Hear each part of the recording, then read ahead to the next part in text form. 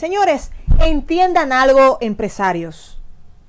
La mejor manera de ustedes hacer sus empresas productivas, eficientes, eh, que se desarrollen constantemente. ¿Saben cuál es la clave de todo esto? Ustedes tener unos, unos colaboradores, una empleomanía satisfecha.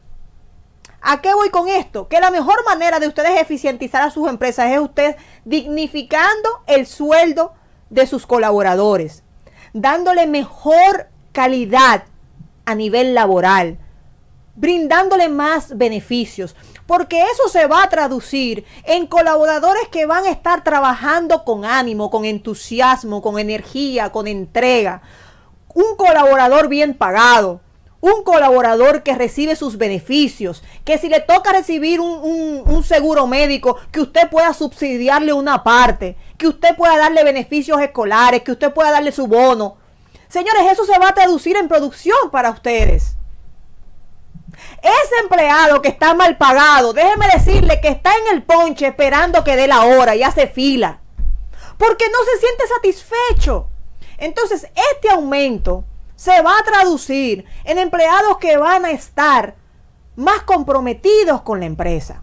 Y eso es así, porque a lo mejor para nosotros, que no pertenecemos a ese salario mínimo, pues lo vemos a lo mejor, bueno, son 10 mil pesos más, son 15 mil pesos más, pero para esta persona que llevaba dos años, tres años, cuatro años, cinco años esperando un dinerito extra, sí se va a traducir para una, un mejor beneficio para su familia y para su entorno.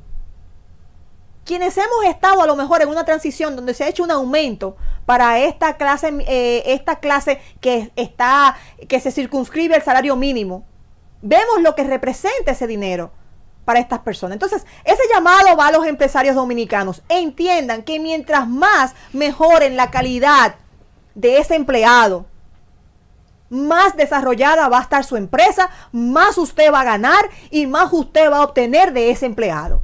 Un empleado bien pagado, un empleado bien tratado, un empleado que recibe beneficios colaterales, es un empleado que le va a servir con entusiasmo, con ánimo y con entrega. Así que traduzca todo lo que usted va a hacer a partir de ahora y piense bien lo que va a hacer. Porque es asunto de, de, todos mejorar la calidad de vida de los dominicanos y las dominicanas, no tan solo de las propuestas del gobierno. Así que mi llamado del día de hoy va para todos esos empresarios. Tenemos muy buenos empresarios aquí que se sacrifican y que saben lo que es el valor de un buen recurso humano. Así que vamos a eficientizar eso y eso se va a traducir, yo se los garantizo, en desarrollo. Ah, e incluir también en todo esto beneficios de educación para su, para su empleomanía también.